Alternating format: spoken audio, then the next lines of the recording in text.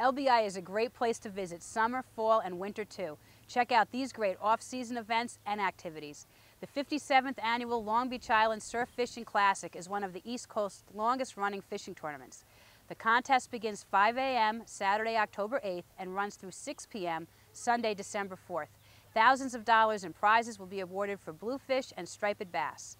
For a list of local bait and tackle shops that handle registration, contact the Chamber office or visit www.lbift.com.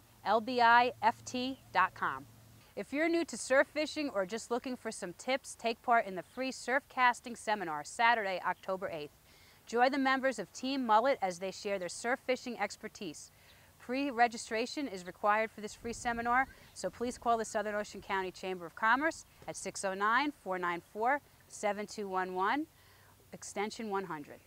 Plan to get a little sand under the tree when you visit during the 34th annual Ship Bottom Christmas Parade taking place December 3rd at 1 p.m. on Long Beach Island Boulevard from 5th through the 25th Streets in Ship Bottom.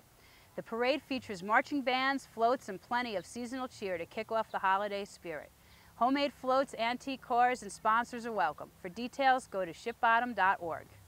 Take the polar plunge. On Super Bowl Sunday 2012, plungers in bathing suits and costumes take the ultimate icy dip to raise funds for St. Francis Community Center and swim teams at Southern Regional High School in Manahawkin.